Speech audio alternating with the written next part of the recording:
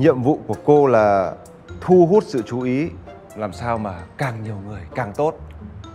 Thế biết hát không? Biết Đừng nói anh tính cho tôi ra ngoài đường để thu hút khách đấy nhá Đúng, rất thông minh. Hát như là người ta hay hát ở hội chợ đấy. Mà người như cô tôi nghĩ cần phải xem lại cách ăn mặc. Thế có việc gì mà gọi anh em chúng tôi thế? Đang dở việc. Nghe bảo anh có kế hoạch gì mới à? Ý cô là cô sẽ làm ở đây. Anh Hưng, đây là Vị trí Nhân viên Phát triển thị trường lương, thưởng, chế độ có yêu cầu gì không?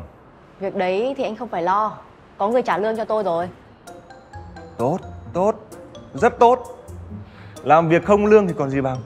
Thế vậy ngày mai tất cả chúng ta sẽ ra vỉa hè để bán gốm. Việc của tôi với thằng Đạt là bán hàng.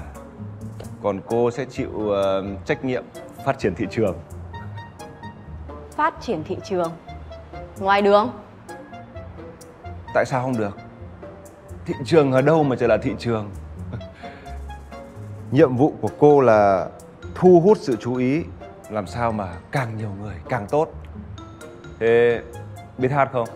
Biết Đừng nói anh tính cho tôi ra ngoài đường để thu hút khách đấy nhá Đúng, rất thông minh. Hát như là người ta hay hát ở hội chợ đấy. Mà người như cô tôi nghĩ cần phải xem lại cách ăn mặc. Cách ăn mặc của tôi thì sao? Thì mình muốn thu hút khách thì phải. Được. Thôi đi.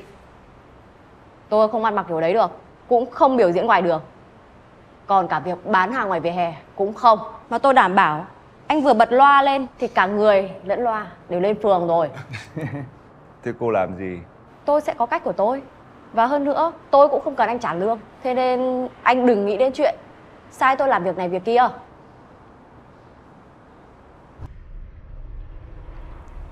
Con thấy anh Hưng là người nhạy bén Có đầu óc làm ăn Và đặc biệt là tinh nhạy và cảnh giác Sự xuất hiện của con làm anh ta đề phòng đấy ạ Thế nó đề phòng con thế nào?